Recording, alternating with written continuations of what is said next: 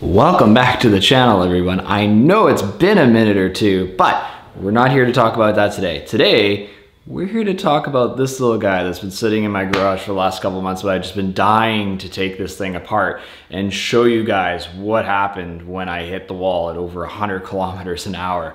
So as you can see, it's in a total twist mess and we're gonna come up with a game plan today on how we're gonna actually take this completely apart and hopefully salvage the brakes that are inside. The wheel's completely folded over. The caliper, from what I can tell, does not look like it's actually been damaged fingers crossed, along with the rotor itself. It looks like it folded but didn't quite make contact with it, so we're gonna find all that out real quick here. But before we get started in taking it apart, let's take a little bit of a closer look at how bad the damage really is and what happens when you hit the wall that fast. Okay, so let's take a closer look at this thing and show you just how bad it was. So if you've watched the previous videos, you did see it while it was on the car, and you saw pretty much just this exterior piece, right? Because this is all we could really show you because we really struggled to get this thing off while we were trying to get that guy out.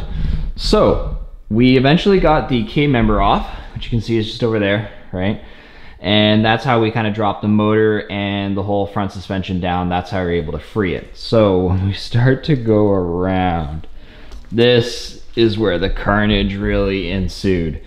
So as you can see, the, the mount for the Cortex coilover obviously completely destroyed, but it's just the mount. The inner cartridge inside, from what I can tell, looks okay. So we should still be able to get this rebuilt. Cortex has already told me they can provide me with a new one of these guys, no problem.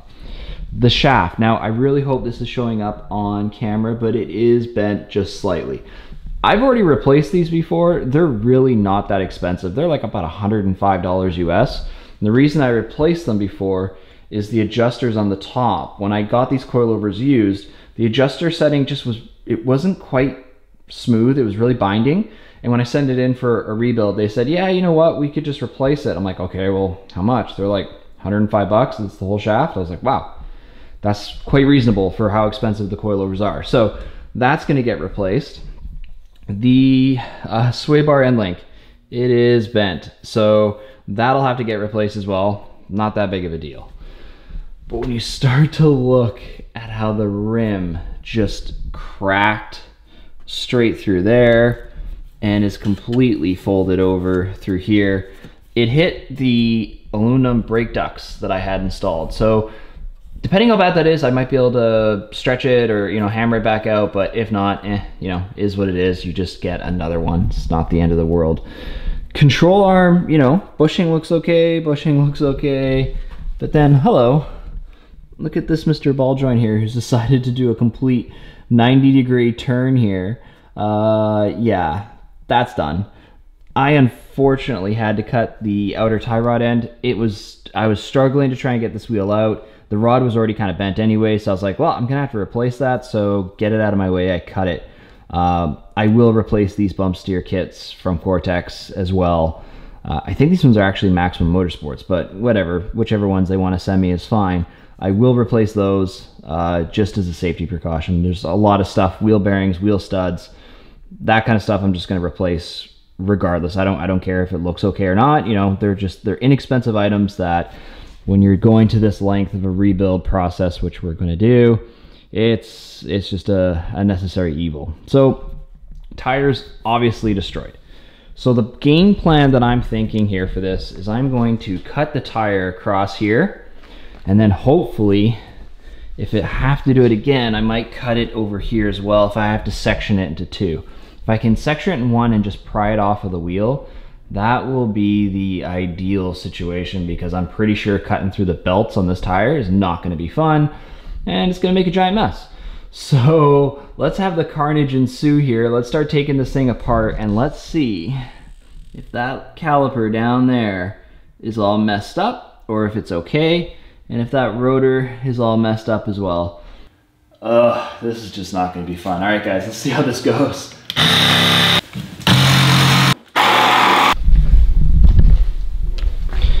All right, let me just show you what I just struggled with. Yeah, I've never cut a tire off a wheel before, so I'm not gonna pretend that I'm some sort of expert, but man, I mean, I know there's a belt in them. i I used to mount tires all day long for a living, right? So I knew I was gonna have to overcome the belt here, and then obviously we're gonna have a belt in the actual tread section as well. But just to get through this was daunting, and it definitely not the tool for the job. But um, sometimes you just gotta adapt and uh, figure out a different strategies.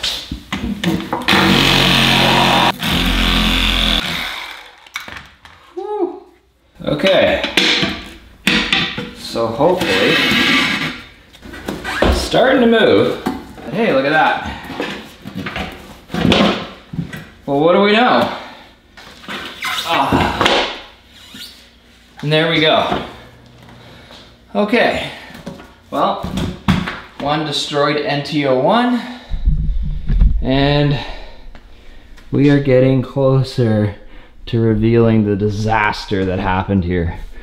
Now, normally I'd be very gentle, but we all know we're not saving very much here. This is challenging with just one hand, I will admit that. But I'm doing it for you guys, doing it for you, so you can see it. My God, okay, so step one's done. Now we need to start working on this.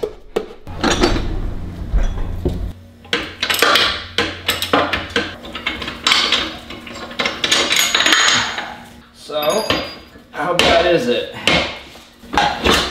Oh. It's that bad.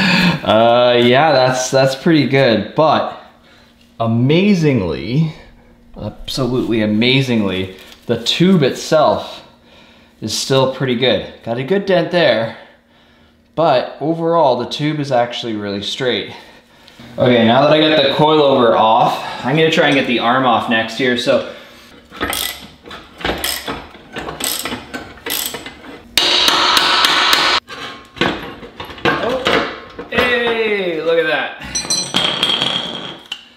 one very savaged, savagely destroyed control arm. I mean, look at that stress. Okay, plan B, I guess, if that's what you want to call it. So the only way I see this thing coming apart here, and I've been hammering at this, it ain't moving. I mean, it's why they're built well. I'm gonna try and do a couple of relief cuts along here and just along here and see if I can fold these pieces back. So I'm not gonna try and cut through the whole thing. I'm just gonna try and do a couple of relief cuts and then I'll hammer it over and hopefully that'll weaken the aluminum enough that uh, I can get this folded away and we can pull this stuff out. So I'm gonna set the camera down, let you guys watch while I do that. And hopefully, hopefully, we can get all of this out and finally see if this is still okay or not. But that tire's definitely done. We're not saving that. That coilover we're saving though. Controller arm, definitely not. All right. Okay, that was fun. Well, you know, in this garage, I feel like I have every single tool except for the one you need right in the moment. and that happened to be an angle grinder with a good blade on it. Luckily, my neighbor uh, is a pipe fitter, so does it by trade. And I said, hey, I just need to cut this uh, wheel. Do you got a, an angle grinder? He's like, is it aluminum? I'm like, yeah. And he goes, that stuff's really tricky to cut. Here, I'll just cut it real quick for you. So his tool. I don't mind letting him do it, but man, that was the better tool for the job. So now, ta-da, there we go. So, little nick on it. That was from me earlier, but that's nothing too bad. You see the spacer, caliper, everything's there. Let's pull this out and let's see if it is okay or if we are out uh, a caliper. I quickly covered that up earlier. I did it off film just to make sure because obviously all the dust and stuff like that. I do not want to get all that inside the caliper. All right. Doesn't help that this thing's freaking heavy. Um, oh. All right. First time looking at it. So far, pretty good. Little nick on the powder coat there, but all in all, I think we got lucky. I think we have a perfectly good caliper. It's hanging onto the back here, but I think we are in good shape. Everything looks all right. So That means I have saved myself a brake caliper. Maybe a rotor as well. We'll see. Definitely not a wheel. but that is, uh, God, so much better to have that thing out and know that it's in okay shape. Obviously I'll take it all apart and we'll, we'll see, but I don't see a single mark on it except for a couple nicks on the powder coat, which really, I mean, you can see them there a little bit. Not a big deal, not the end of the world. So just a little bit of powder coat. It's not a show car, it's a track car, so I'm not overly worried. It's my other spacer. See the giant bolts. I will replace these no matter what. Um, it's actually a Ford Racing spindle that comes with the extended ARP wheel studs. So I'll run that. Obviously we know we're already gonna get rid of the uh, the bump steer kit, so the outer tie rod. That's, yeah, we're just gonna change that. Not even gonna bother. Brake pads seem to be okay as well. Coilover definitely has seen better days, but can be rebuilt. And that big chunk of aluminum's going to the scrapyard. All right, so looks like that was a pretty good, successful uh, little teardown. Managed to get that out, so I'm pretty happy about that.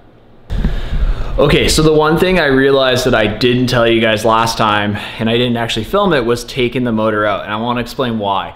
So we had all the intentions to actually film it while we were pulling the motor out, but it just turned into a giant whirlwind. It got crazy late, so super dark. It wouldn't really work for filming wise. Had the doors open, stuff like that, and then started bucketing rain.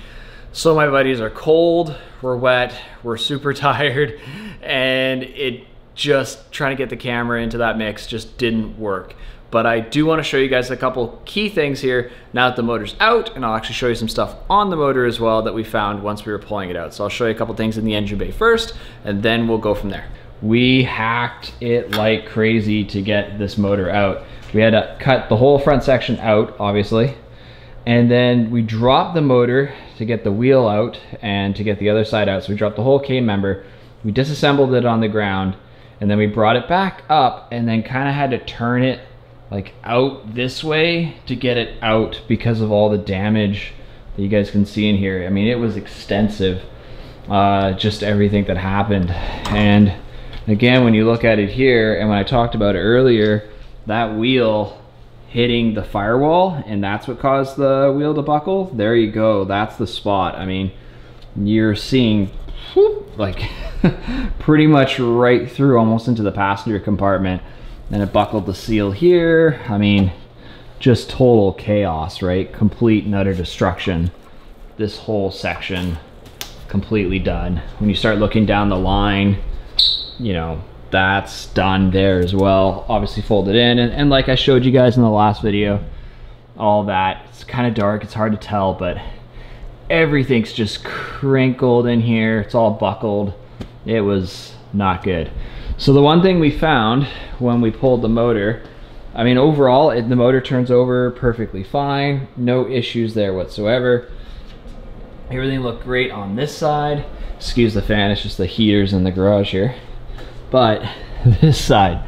So I told you guys that, and you can see right there and right there, that the engine mount broke. Well, when the engine mount broke, the whole engine swung inside the K-member and it made contact with the K-member in the oil pan. So gonna pull the pan eventually. I will take a look. It's pro I'm probably just gonna replace this. Interestingly enough, one of the cool new oil pans that's recent to hit the market is that new GT500 oil pan. And it's actually kind of cool. So it's off of the new GT500 and it's a cast aluminum pan. It's a little bit bigger than the factory Coyote pans and it actually has the same baffling in it as the Moroso pan and it comes with an actual high flow oil pump in the package. It's like 700 bucks or something like that. It's super cheap for what you're getting. So I'm probably gonna go that route considering this pan was almost, I think 500 bucks or something like that. So this is all US dollar, right? So when you start adding it up, I'm like, that just makes more sense to get that pan, which is OEM, as long as it's gonna fit. One of my good buddies is actually in the process right now of test fitting that into one of his cars down in the States, down in Phoenix. So if he manages to pull it off without any issues, then that's definitely the route I'm gonna go. So the replacement car. This has been coming up quite a bit. I get tons of guys uh, linking me, sending me links to, to cars that are for sale. I really appreciate everything, but I just want to kind of maybe update everyone and reiterate what I've explained before and make sure I'm crystal clear. So I'm up in Vancouver, British Columbia, Canada, so west, uh, northwest coast. One of the challenges is if I was to import a car from the United States, I have to import it. So I have to go through registration and I have to get the vehicle inspected. So if I go and buy a car that's already turned into like a crazy track car, it's gonna be very difficult for me to actually get the thing inspected here in BC and to get it registered for the road because I still kind of want to have a street car. So that's the first challenge that I run into with those cars. Second, Unfortunately, Canadian dollar versus US dollar sucks right now. So a car that's like, you know, 12, 13 grand all of a sudden becomes almost $20,000 Canadian. And then you still have to transport it here. You still have to do all the duty and importing and just the hassle of it. So that's been one of my challenges lately.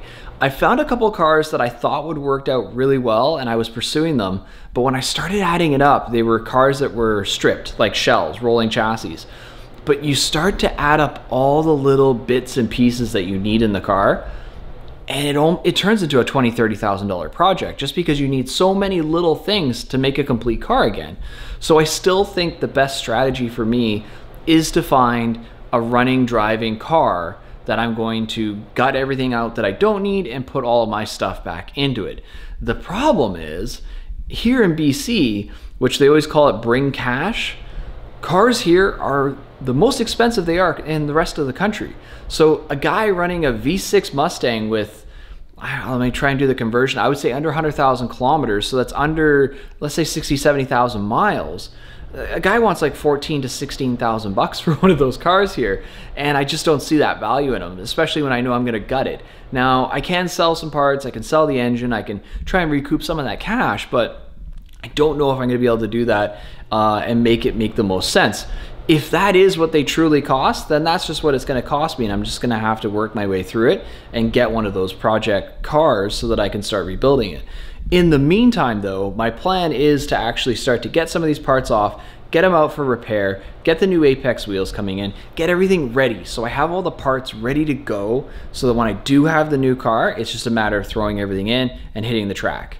But that brings up my next point this season. We're already in February right now, and it's most likely not going to happen for this season. I've, you know, got a lot of other priorities. i am a family man. I've got wife and kids. I need to make sure that I'm taking care of them and their needs are met first. So, I might be making a few other changes here on the channel and bring in an additional car that's going to be kind of like the new daily and also a track weapon. So I haven't made my decision up 100% on which car I'm going with, but it is something that I'm going to be trying to do in the next couple months. Get it prepped, get it ready so that I can actually participate in some track day stuff this year. Still bring some cool content, still do some track stuff, and then hopefully in the meantime, we find the alternative for this car and we start to actually do the rebuild. So once again, guys, thank you for being so patient with me. I appreciate all the support. I really, truly do, guys. I will make a few more videos. We will finally maybe address why I crashed. I will break it all down for you guys and explain everything in detail. Once again, like I said in the last video, it is 100% my fault. I know what I did wrong, but I think it's important that I maybe share that with everyone else. So bye for now. We'll see you guys in the next video. Take care. Bye.